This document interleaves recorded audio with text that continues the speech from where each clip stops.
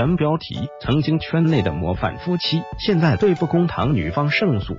获赔四十八万。二零一八年接近尾声了，娱乐圈这一年出了不少新闻，比如前段时间就又牵扯到李小璐和男星有染，之后贾乃亮还发文疑似澄清，表示自己现在一个人过得也很好。吃瓜群众们纷纷猜测两个人可能是离婚了。不过最近貌似事情开始有所反转，官方表示李小璐并没有出轨，而且要通过法律追究一些造谣人士的相关责任。官司已经胜诉，几个被告人。共赔偿当事人约计四十八万元，吃瓜群众有点猛。虽然官司打赢了，但是要是想靠这么一纸通告就洗白成功，貌似也不太容易。毕竟这一年，在大众眼里，她已经是一个婚内出轨、不管孩子、不顾丈夫疼爱的女人。更何况跟李小璐牵扯的还不只是婆一个人，现在又复出给薛之谦有染，所以不管是年初还是现在，想再恢复好妈妈。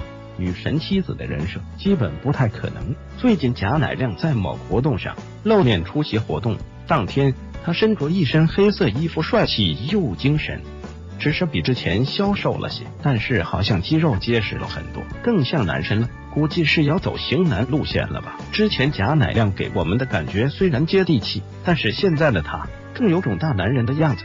估计这一年他也成长了不少。尤其是看到亮哥的手机壳，绝对完全的表达了贾乃亮的想法。果然，认真的他更迷人了。网友也纷纷表示，这样的亮亮太 man 了。这段时间，两个人离婚的消息也传得沸沸扬扬。虽然不知道真假，当事人也没有正面回应，但是基本上目前两个是没有任何互动的。其实他们要是真的不在一起了，最让人心疼的就是甜心。之前跟着爸爸一起上综艺，也是圈粉无数。尤其是他天真的样子，真希望他可以开心的成长。夫妻之间的恩怨会给孩子带来无尽的伤害。娱乐圈这样的例子早已经不在少数。成龙一时的风流，影响了小龙女的一生。陈羽凡吸毒，元宝在无人陪伴。